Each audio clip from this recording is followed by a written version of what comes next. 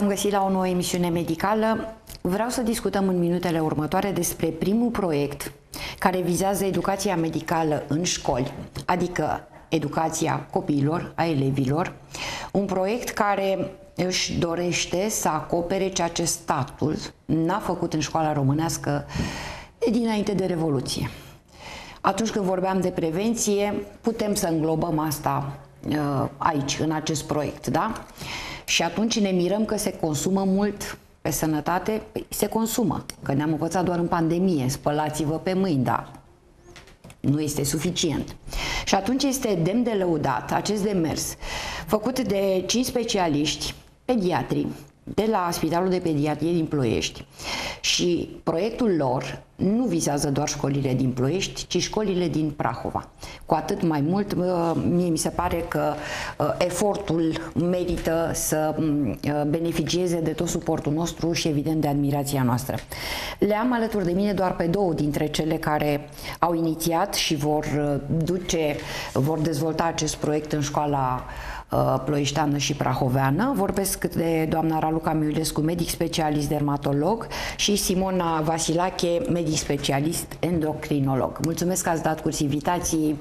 Bun venit în studio și pot să vă mulțumesc pentru faptul că ați găsit timp și resurse uh, pentru a intra pe zona asta cumva virgină. Toată lumea a zis vom face, vom învăța copii, vom face proiecte, vom învăța și adulții. N-am auzit de nimic.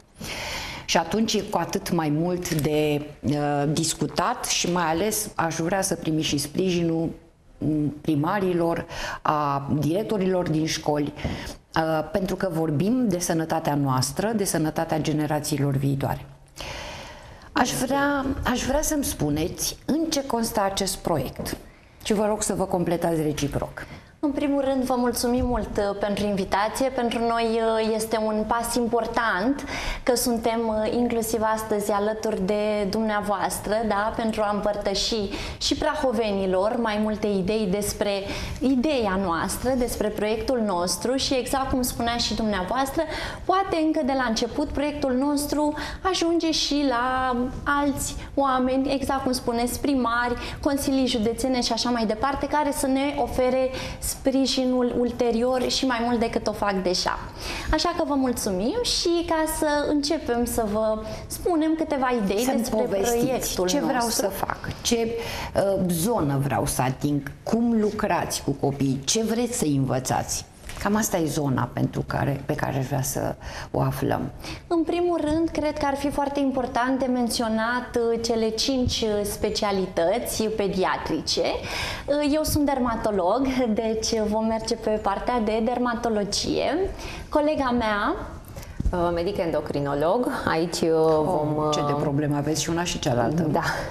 Aici da. avem foarte multe aspecte pe care le, le putem discuta. Ne dorim să îi învățăm practic pe uh, copiii din Ploiești, din Prahova, foarte multe aspecte cu privire la dezvoltarea lor, pentru că uh, este o continuă creștere, dezvoltare, sunt foarte multe schimbări cu care ei se confruntă, sunt foarte multe aspecte care le uh, atrag atenția, le mm, ridică îngrijorări și atunci noi ne dorim să fim alături de ei, să le răspundem la toate întrebările. Păi aveți uh, pe dermatologie da. vechile povești, da? da? La care se mai adaugă, da, bineînțeles, da, da. dat cu un fart, cu un exces de, de fond de ten și așa mai, de, de, mai, pardon, și așa mai departe.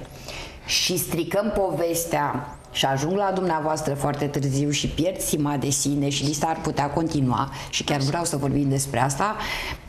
Pe de altă parte vorbim de copii care, din cauza alimentației, a stilului de viață, a fast exact. food-ului, au ajuns supraponderali. Noi nu prea aveam, în urmă cu mulți ani, dar înțeleg că suntem pe un trend ascendent, da.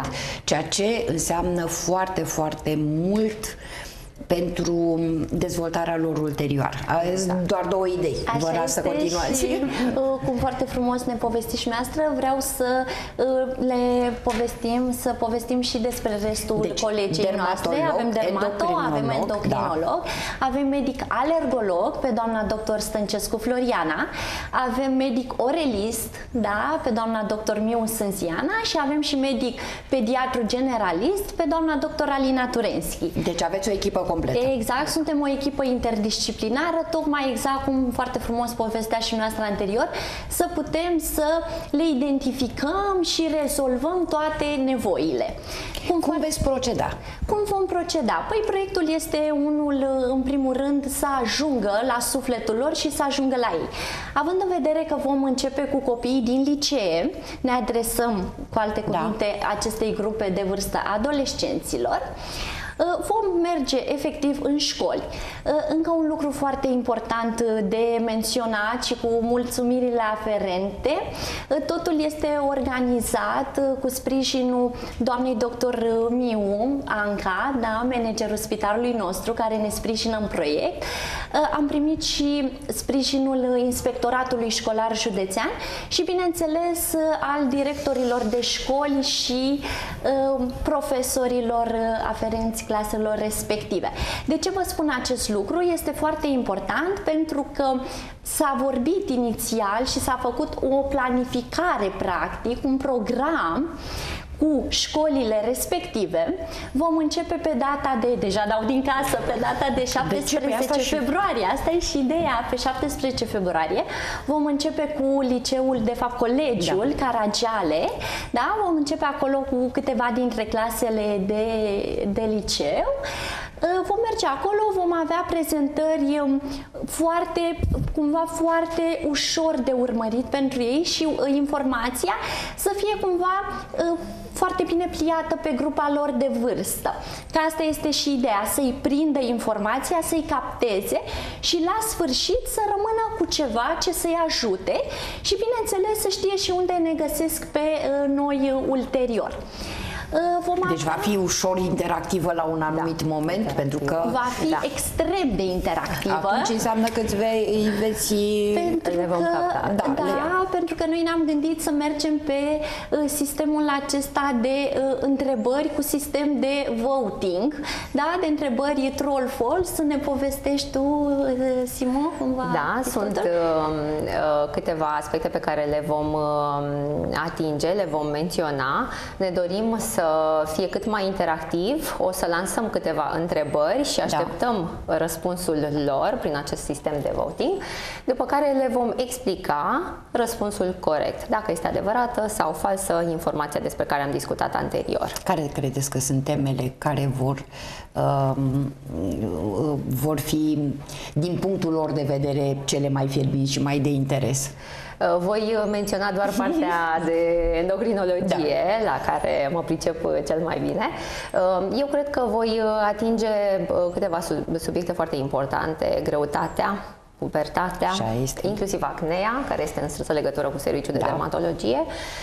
Sunt foarte multe schimbări în perioada aceasta și ei le observă și sunt îngrijorați și atunci uh, caută pe internet diverse uh, informații, de cele mai, mai multe ori sau mai puțin eronate. Corecte, da, da? Exact. Și atunci uh, ne dorim să le răspundem foarte clar, concis la toate întrebările pe care, pe care le au cu și cu care se vor. confruntă. Cu siguranță um, aveți de lucru, dar e un lucru extraordinar de bun, pentru că așa cum spuneam, orice înseamnă um, Uh, un ten care nu arată bine sau un corp care nu arată așa cum ți-ai dori pe la vârsta la care legi prietenii, la care iubirea își face simțită prezența, înseamnă o apăsare foarte mare pe psihicul băiatului sau al fetiței. Exact. Da?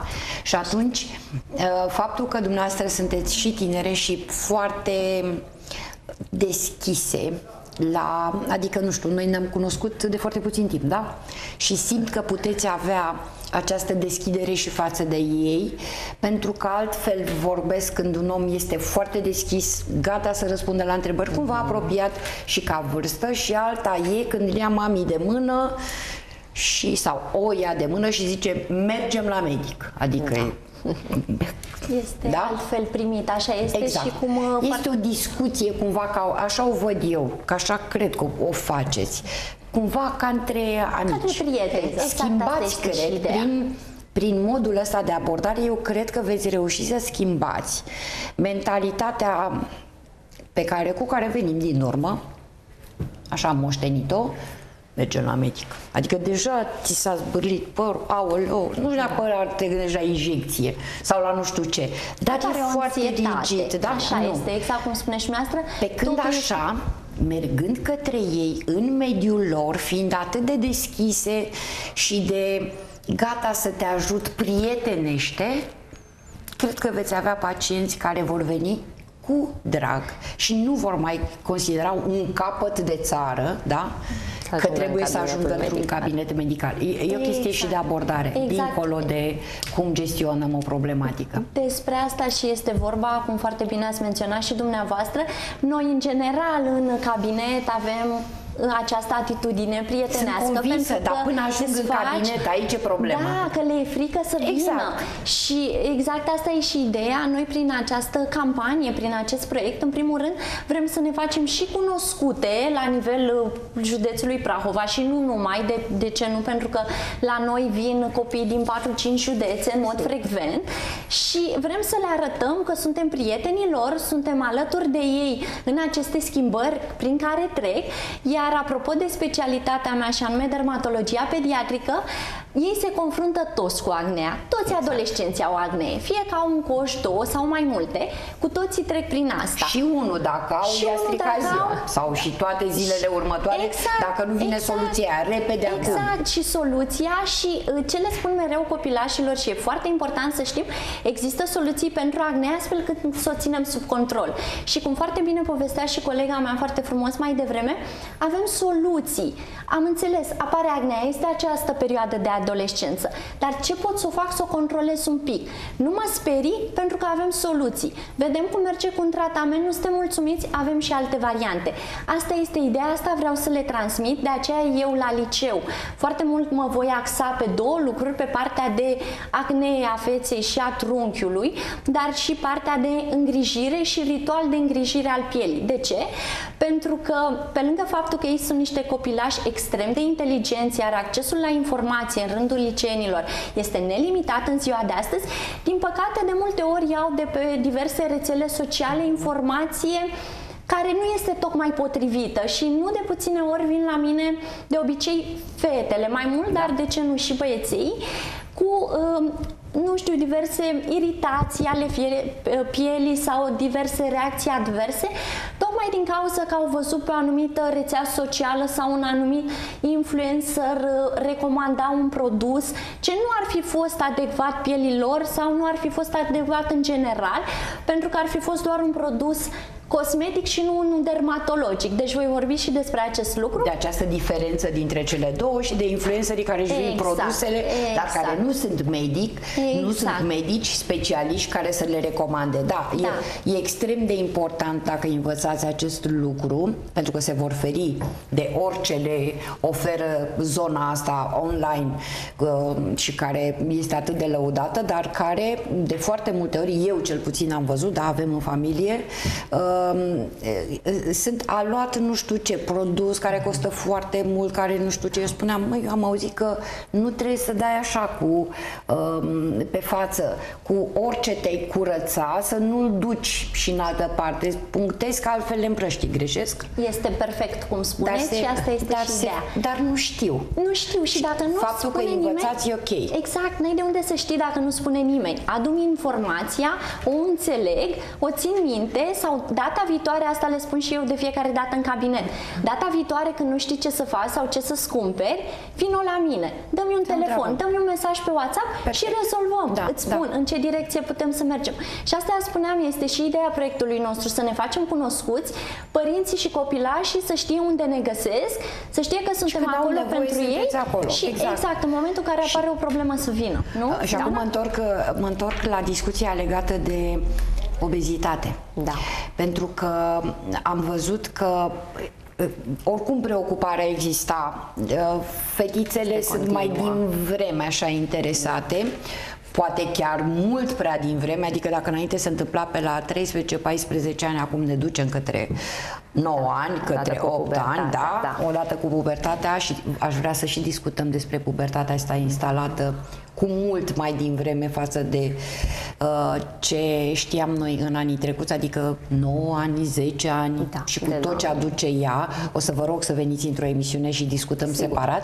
Sigur. Dar vreau să spun, apropo de ce ne oferă internetul, că și dumneavoastră aveți o, o misiune, tocmai datorită fapt sau din cauza faptului că se uită pe net, da. Au luat în greutate și încearcă la o vârstă chiar foarte fragedă diverse uh, diete care cred că fac foarte, foarte rău pentru da. ei care sunt în formare uh, din dorința de, de a arăta bine. Și iată încă un aspect încă, din punct din punctul caluia de vedere, uh, cred că este foarte bine apropierea uh, și mers mersul medicului către copil, către, da. că el cu siguranță va învăța și va veni da. uh, cu toată încrederea și cu uh, convingerea că merg va și mă ajută doamna doctor. Merg că îmi spune ce e mai bun. Da. Asta acolo, de fapt, vrem să ajungem. Da. Că dacă stăm să ne gândim, în esență, până la urmă e o prevenție ceea ce faceți. Da, așa este. Da?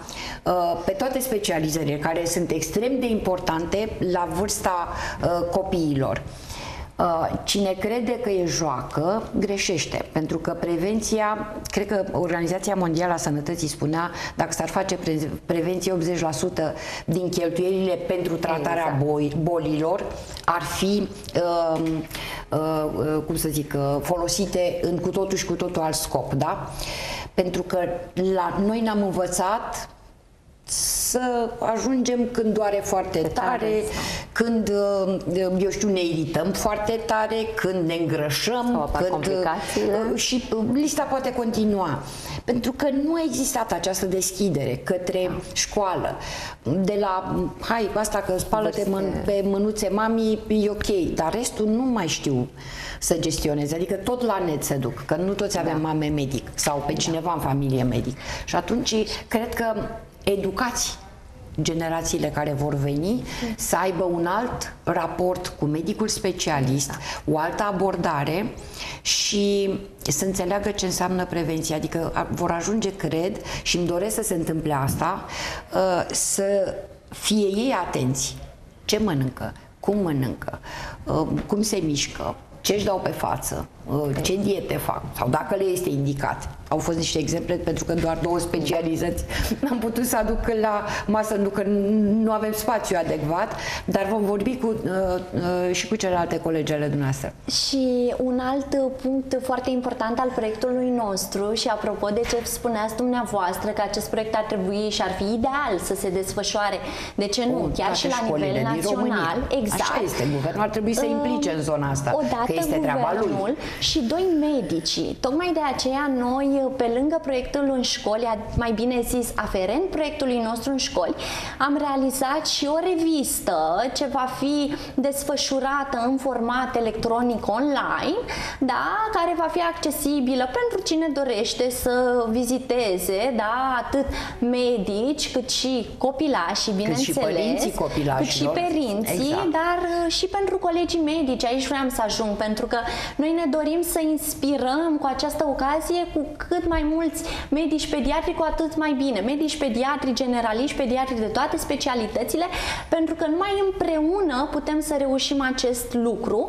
Și de ce nu, chiar vorbeam cu colegele și ne gândeam noi, ar fi foarte interesant ulterior prin Ministerul Învățământului de organizat cumva ca și în curiculă o oră pe săptămână de educație medicală în școli cu medici. Sau o dată la două săptămâni, cumva să facem să ajungem să-i vizităm, să-i vizităm frecvent, da, și cel mai important, constant, astfel încât ei să știe că existăm, să le câștigăm încrederea, că de fapt despre asta e vorba.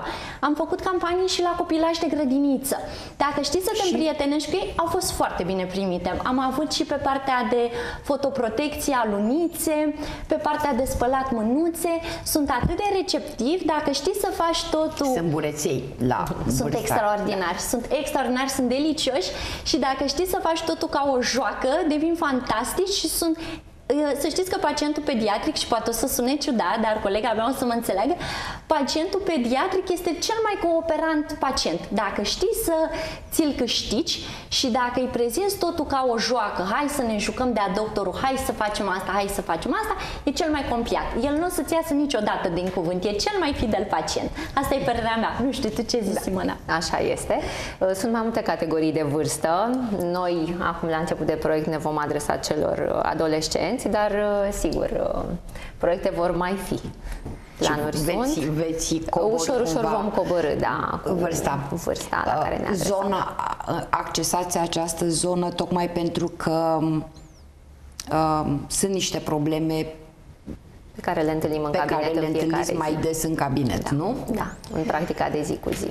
Și atunci, odată deschisă, această zonă cu sfaturi, cu tot ceea ce trebuie. Iată, ajutați evident în primul rând pe ei și ulterior în alte proiecte mai coborâți un pic din, uh, din vârstă, evident cu Etapa. problematica uh, aferentă, aferente vârstei. vârstei. Da. da, practic uh, etaje ale aceluiași proiect, etape mai bine zis ale aceluiași proiect. Începem cu liceele, mergem la generală, dar exact adaptat adaptat Dar când vă faceți timp? Că asta este extra program când, atunci când o faci din dragoste și chiar uh, vrei să-i ajuți și vrei să faci ceva, este incredibil, iar noi ne cu sufletul, cu inima deschisă, sperăm și suntem convinse că vom fi și primite la fel.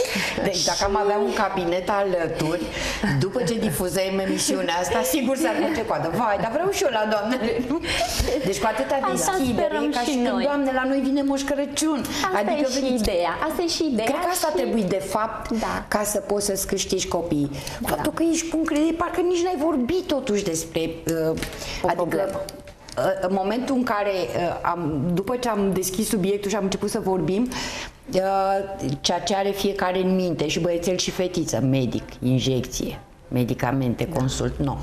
Deci s-a dus, s-a estompat, nu mai da. există acea seringă, da. nu mai există ac, nu mai există, cred că asta e abordarea, de fapt și de drept, o altă formă. Și câștigă de, de încredere. Câștig știu că vor găsi soluții, răspunsuri. Și știu că și suntem acolo pentru ei. Exact, despre asta înțelegem.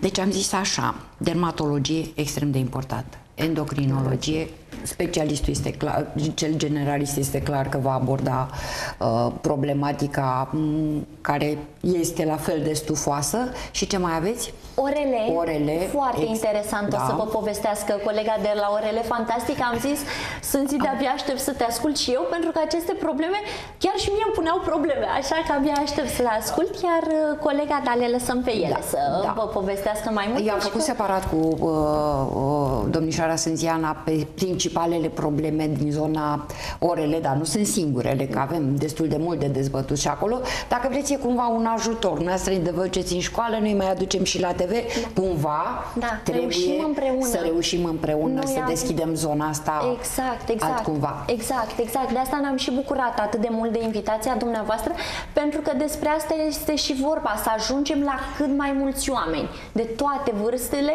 și, și de mai aveți alergolog, tot. da? Alergolog, da. Iar extrem de important, alergii alimentare, ce mâncăm, tot o să lăsăm pe ea să vă povestească. Extraordinar Sper să putem să stăm, da, de vorbă într-o altă, într-o altă emisiune, da, pentru că sunt probleme care și nu ne sunt semnalate de părinți, dar nu puteți să aduceți nu știu ce, atât de mult mi-am dorit să pot să stau de vorbă. Cu derma și doamna doctor meu îi mulțumesc pe această cale că am reușit împreună să, uh, să ne întâlnim aici, pentru că oamenii cer au nevoie de un diabetolog, dar cu specializarea pentru copii, au nevoie să, de un endocrinolog pentru copii, au nevoie de un dermatolog pentru copii, au nevoie, deci zona asta Nișat. a copilului, da, da, o zonă nișată în care destul de greu îi aduci uh, pe, pe sticlă.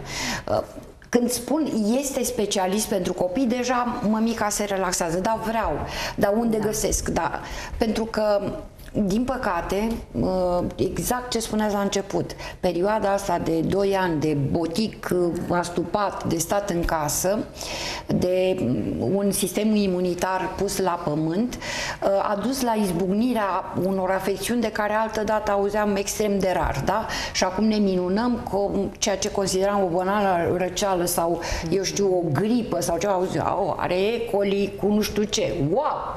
Dar de unde? Adică mult prea mult decât uh, puteam noi să ducem și poate pe unii sperie. Eu cred că n-ar trebui să-i sperie, trebuie să știe să se ducă acolo unde trebuie.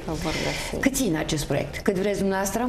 Ține până la este deschis și mai pot? Lui, cât este deschis, cât este, este nelimitat. Da. Așteptăm invitații și pe această cale chiar uh, doresc să mă adresez tuturor colegilor, profesori, să ne adresăm încă o dată. Noi da, și dorim părinților să... care și pot, se pot duce și pot spune doamnei diriginte Părinte, știți, vreau să vină această echipă, echipă de pediatri să stea de vorbă și cu copilul, cu copiii noștri. Da. Deci oricine da. poate să facă această, um, uh, să lanseze această invitație pentru că este bine pentru copiilor, exact. pentru generația viitoare. Exact. Dacă exact. ne suntem zgârciți, domnule, nu mai consumăm atât de mulți bani și nu mai plângeți pe lângă un copil să facă bine atât timp cât el învață să-și gestioneze problema, problema, să nu se îmbolnăvească, să știe ce să mănânce, să știe să meargă la medic, să nu bâzie când îl duceți la oricare din specialități. Deci de scoatem chestia asta veche din cap, aoleu, ne doare, ne face injecție când mergem la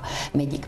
Din păcate, am epuizat timpul, dar vă aștept în alte emisiuni, discutăm punctat, pe anumite problematici, pe anumite boli, pe anumite aspecte pe care le considerați de corijat și de ce nu văzând și discutând în continuare de proiect, sper să se deschidă cât mai multe uși. Mulțumesc mulțumim mult și vă doresc succes. Mulțumim, mulțumim. mult, mulțumim mult pentru mulțumim. toți. Câteva uh, minute de, uh, câteva secunde de publicitate și revenim.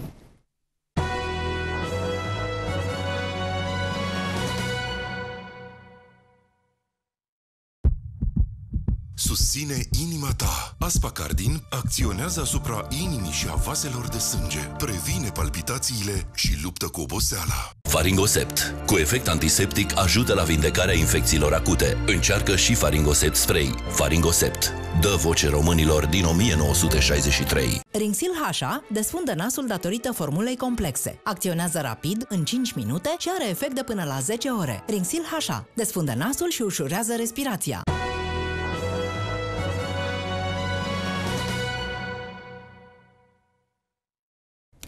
Vă propun uh, ca în minutele care urmează să discutăm despre cele mai întâlnite afecțiuni uh, din zona orelei. Invitata mea este domnișoara Sânziana Miu, medic rezident. Mulțumesc că ați dat curs invitații, mă bucur să fiți alături de noi în studio. Mă bucur și eu. Este o perioadă destul de delicată în care uh, zona asta orele este foarte accesată, să spunem, de mămici. Probabil vremea, schimbările climatice, schimbările de temperatură, pardon, um, aduc uh, diverse probleme și nu numai, uh, gândindu-ne la cauză. Aș vrea să uh, enumerăm care dintre afecțiunile din zona orele le întâlniți cel mai des la Spitalul de Pediatrie din Ploiești? Uh, cele mai frecvente afecțiuni în principiu sunt uh, răcelile obișnuite, adică infecțiile de căi respiratorii superioare, amigdalitele acute, care pot fi virale sau bacteriene, uh, otitele medii foarte frecvente la copilași și în sfera aceasta, în sfera de infecții virale sau bacteriene, cam asta. Haideți să le luăm un pic pe rând. Prima dată mi-ați spus că cele mai des întâlnite sunt uh, uh, ziceți-mi, răcelile, răcelile da, da? da? Când vorbim de răceală la un bebeluș, cât de atentă trebuie să fie mămica, astfel încât uh, să nu depășească acel moment care crede ea că îl poate controla într-un fel sau altul, dar pentru un copil care nu știe să spună cel doare uh, și pentru o mămică care, asta e, uh, toți suntem pregătiți, uh, fiecare suntem pregătiți într-o anumită zonă. Deci singurul în măsură să ia decizia corectă și să dea medicația corectă sunteți dumneavoastră și atunci cum să gestioneze mămica acel moment, până la acel moment critic, astfel încât să nu vină foarte târziu, când uh, evoluția e una nefavorabilă, uh, la cabinetul dumneavoastră. Noi recomandăm întotdeauna, prima dată, mama să ia contactul, mama, tatăl să ia contactul cu medicul de familie. Pentru că dacă este o afecțiune la debut sau o afecțiune virală simplă, banală, se poate trata doar cu simptomatice, cu un patuden, cu un nurofen sirop și așa nu, mai departe. Da, să nu spunem numele. Da. Denumirea da. uh, cu... care asta e reglă în televiziune. Ce înseamnă da. la debut? Adică care sunt acele semne care trebuie să atragă atenția mamei și nu sunt suficient de ample ca să ajungă la pediatrie, dar poate să meargă către medicul de familie. Secrețiile nazale, mucișorii care îl supără da. pe copil, o tuse, dar nu foarte profundă, nu foarte frecventă da. din când în când, o febră, dar o febră care nu le sperie undeva pe la 38 Astea sunt niște semne de debut ale unei răceli. O stare generală mai proastă, copilul se alimentează mai prost. În general, sunt niște lucruri care nu ne sperie foarte tare. Dar dau semne de întrebare mămici. Da, da. Bun.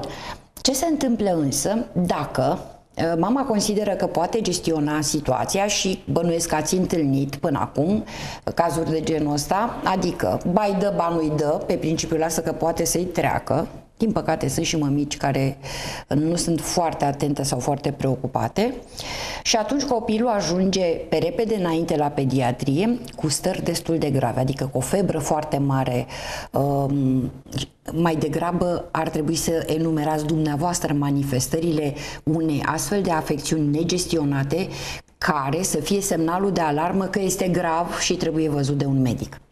Pe partea noastră de orele da. ajung uh, mai grav, să zic, mai neglijate uh, otitele, otitele medii bacteriene care se evoluează către o otomastoidită, ajunge în osul temporal da. și poate să creeze o infecție wow, mai... Grav. Deci le da. luăm pe rând. Da. Aceasta ar fi una din cele mai neplăcute, să zic, cele mai grave. Ar mai fi amigdalitele, care, dacă nu sunt tratate la început, pot ajunge să se colecteze, să formeze o colecție de puroi care trebuie eliminată cu ajutorul medicului. De obicei, infecțiile virale respiratorii, dacă se complică și ajung la pneumonie, da. cel mai frecvent, sunt mai mult apanajul pediatriei. La orele vin mai mult ca în consult, dar medicul de bază este pediatru care trebuie Pot să... fi asociate? Adică pe lângă acea răceală să aibă și, nu știu, și o otită sau... Evident. Și foarte frecvent. Copiii au uh, o trompă, comunicarea între nas și ureche, trompa lui Eustachiu, da. este orizontalizată la copil. Ceea ce înseamnă că dacă o problemă începe la năsuc, ea o să ajungă foarte ușor și la ureche. Foarte important de știut da. asta și de ținut minte. Da. Deci adult... mama ar trebui ca în momentul în care există astfel de probleme la năsuc, da, îi curge năsucul, mm-hmm. să supravegheze supravegheze, să spunem așa, da, să fie atentă și să verifice și urechiușele, nu? Da, copiii mai mari, de exemplu, sunt mai ușor de identificat dacă fac otite, pentru că nu mai aud atât de bine, nu mai răspund la fel de ușor sau chiar spun, mami nu aud prea bine sau mă doare sau ureche ceva, sau da, ceva. Sau mă doare. Copiii micuți, sub un an, un an jumate, nu prea știu să spună că nu e mai clar, aud. Da. Sau... Dar, și atunci da. singura soluție este ca mama să se uite din când în când. E destul de dificil, pentru că ca să ne uităm în urechiușe ne trebuie nu, un aparat măcar, special. Ca semn exterior poate să-și dea seama că e o problemă acolo? Nu, de obicei infecțiile... Nici decât într-o formă gravă, când se vede sau mă, miroase? Uh, nu. Mai rar, mai, mai rar. rar. Dacă este o infecție bacteriană, nu de obicei externă. Infecțiile da. care se asociază cu răcelile sunt otitele medii, care sunt în spatele timpanului. De asta ne este foarte greu să le vedem uh, cu ochiul liber, ne trebuie un otoscop. De aceea trebuie să mergem ori la medicul pediatru, ori la medicul orele și unii medici de familie mai au un otoscop pentru a vedea urechiușele copiilor. Dar ca și recomandare, a dumneavoastră ca specialist este ca mama, în condițiile în care curge năsucul copilului, să vină către dumneavoastră să verifice și urechiușa. Nu? În principiu, dacă nu se ameliorează secrețiile sau dacă observă că sunt și anumite semne legate de auz, da, ar trebui să vină la orele.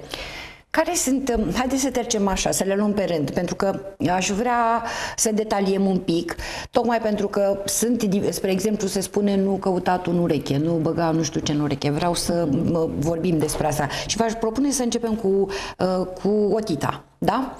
Cum um, care este forma de debut? Și uh, vorbind și despre copiluți, da, uh, cam când am zis că atunci când e sărăcit cu genăsucul, se duce mama. Dar când e ceva mai măricel și spune, ce trebuie să facă mama? Să se uite ea, să încearcă să șteargă sau să vină către dumneavoastră. În forma aceea, să spunem, de debut. Uh, noi în orele ne confruntăm în principal cu două tipuri de otită. Otita externă care implică conductul auditiv, da. pielea conductului auditiv și otita medie care implică tot ce înseamnă în spatele timpanului.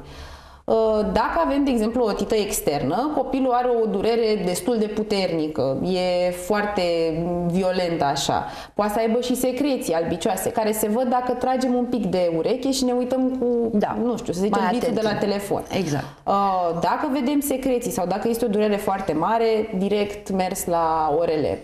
Nu recomandăm părinților sau, în general, pacienților să își introducă bețișoare în urechi sau diverse obiecte în momentul în care au dureri sau secreții, pentru că le pot împinge spre timpan, își pot crea leziuni și să complice și mai mult evoluția. Noi folosim niște instrumente speciale, sterilizate. Uh, și știți cum și să știm. lucrați, ceea ce e cu totul și cu totul altceva. Da. Dar este adevărat ca recomandare generală că nu este bine să utilizăm acele bețișoare de urechi? Da. Decât uh... ușor, să zicem, pe, pe partea externă, adică fără să ajungem în acel canal? Exact, așa trebuie să ne curățăm urechile în general. Tot ce se vede se poate curăța. Ce este mai departe de ochiul nostru nu ar trebui curățat pentru că am și, asta le mai arăt și copiilor cu care mai vorbesc de da. la dezbateri, uh, conductul nostru are niște pereți pe care se depune ceara. În momentul în care noi punem bețișorul, noi doar împingem ceara respectivă spre timpan. Asta poate să favorizeze la crearea unor dopuri, pentru că facem așa da. ca o formă Mm, na, mai rotunjită și după aia se mai depune ceară și se formează dop sau sunt unele persoane care își curăță excesiv cu o forță foarte mare conductul și pătrund mai mult decât mai trebuie mult, și afectează conductul da. în momentul în care ai o rană deschisă în conduct se poate infecta și poate da o tita de care v-am zis mai devreme care doare foarte tare necesită tratament destul de îndelungat și e de preferat totuși să încercăm să lăsăm ceara dacă nu ne deranjează, dacă nu iese în exterior și creează un aspect inestetic, pentru că are un rol protector pentru conductul nostru. Pielea conductului este la fel de subțire ca pielea ploapei, e foarte, foarte subțire și avem nevoie de ceara asta să ne o, să o protejeze. protejeze. Sau dacă ține aparat și simți că e un surplus, atunci cred că cel mai bine ar fi să ajungă în cabinetul dumneavoastră. Normal, unde normal. acest lucru se poate face fără grijă și da. în condițiile cele mai bune. Ce se întâmplă dacă aceste otite sunt neglijate? Um, considerând că poate va trece cu timpul. Cât de gravă poate deveni o astfel de problemă? Uh, din ce Dincolo de acel aspect în care, ba din potrivă, intervine mama sau intervine chiar și copiluțul și își introduce acel bețișor de curățat urechi, pentru că așa i-a spus lui mama, că acel bețișor se curăță în ureche. Nu știe cât de adânc și cum să facă și se pot întâmpla situații de care ați vorbit. Dar dacă mama nu intervine, Uh, Chiar și la copilul foarte mic. Să da. presupunem că nu este atentă, nu știe, copilul plânge, se gândește la orice altceva, mai puțin la faptul că ar putea să aibă o problemă uh, la nivelul urechiușei. Otitele neglijate în funcție de, cum v-am spus, între extern și mediu pot duce la mai multe complicații. De exemplu, o tită medie bacteriană care poate perfora timpan ar fi una din complicații. Ceea ce este foarte este grav. problematic. Timpanul se reface. În funcție de localizarea și dimensiunea perforației, el se poate reface de unul singur, ca și cum nu s-ar fi întâmplat nimic. În cazul în care nu se reface, se poate interveni chirurgical pentru a crea un nou timpan, să zicem așa. Se mai poate complica și în profunzime, să meargă până în mastoide și, cum v-am zis, să, să ajungem la o otomastoidită. O afecțiune destul de complicată, Uh, în ultima vreme la Marie Curie, din ce am observat, vin destul de mulți copii cu otomastoidită, lucru pe care nu-l vedeam așa de des înainte. Da, de ce? Probabil imunitatea copiilor a scăzut foarte mult după perioada cu COVID, cât au fost izolați, au stat, cât au stat protejați. acasă protejați excesiv. Da. Și toate acestea spun cuvântul, dar nu e singura zonă și când vorbim de răceală, de gripă și de mm-hmm. multe alte aspecte, e clar că imunitatea lor a fost puțin zdruncinată puțin mai mult. Da. Deci, în principiu, um, ar trebui să nu neglijăm acest aspect la, la copilul uh, mic și nu numai și la copii mai mărici, adică să nu trecem mm-hmm. cu ușurință considerând că lasă că poate îi trece, îi mai pun ceva cald, că știți că pe la țară mai se mai întâmpla să spună da. un leac băbesc, nu știu, spunea bunica, puneți nu știu ce cald și așa mai departe. Greșit? Greșit. Greșit. Greșit. Nu, deci nu cabinetul e, nu și specialistul deloc. este singur în măsură să rezolve această problemă care, neglijată, poate ajunge într-o zonă destul de greu de gestionat, costisitoare și când vorbim de timpan și leziuni, la nivelul timpanului deja spunem foarte, foarte multe. Mai avem timp să vorbim un pic și despre rinită? Sigur. Uh, pentru că eu aș vrea să mai discutăm și în alte emisiuni, uh, pe, tocmai pentru că, din păcate, um, asistăm la um, o creștere a numărului de îmbolnăviri ale copiilor pe care altădată le întâlneam mai rar.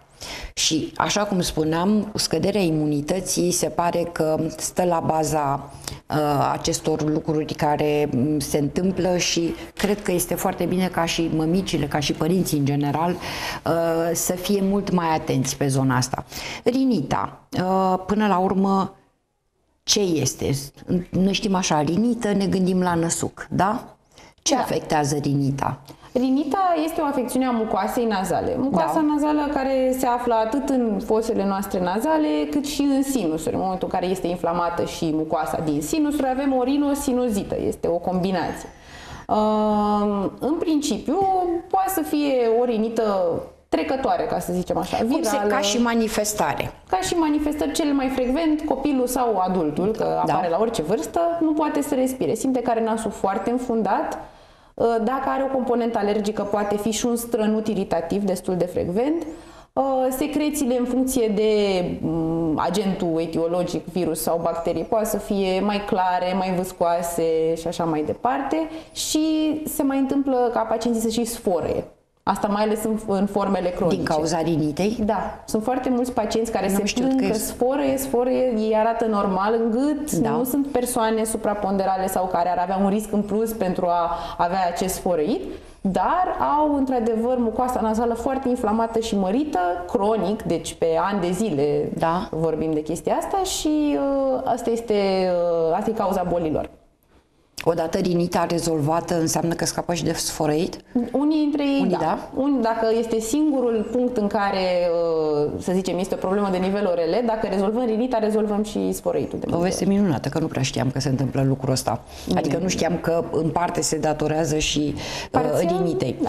da, nu tot ce înseamnă, adică poți, de exemplu, să confunzi rinita cu o răceală în care curge năsucul sau se înfundă nasul? Da. Uh... Diferența cine o face? Evident că specialistul, că tu acasă da n-ai cum să știi dacă ai rinită sau doar dacă ai răcit. Răceala banală este caracterizată în principal de o rinită. O rinită, o faringită, are niște componente mixte, mai ales în zona noastră de orele, dar rinita ar fi cam simptomul principal, mă rog, simptomul, afecțiunea principală pe care o, o simte pacientul. Adică cu toții când suntem răciți da. ne plângem că ne curge nasul. Fix din cauza asta. Dar după ce se remite boala, se remite și rinita.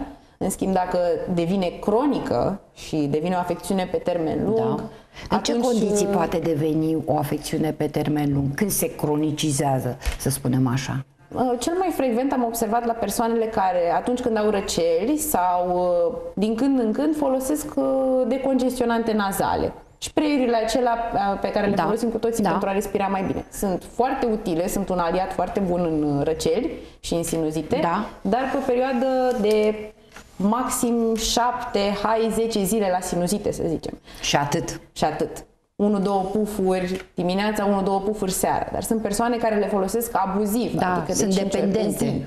Da. Și uh, în momentul acela, mucoasa nazală este obișnuită să primească mereu spray. Ea știe că o să primească spray și atunci ea se va micșora. În momentul în care ea nu mai primește spray, ea rămâne mereu crescută, ca să zicem așa, umflată, inflamată.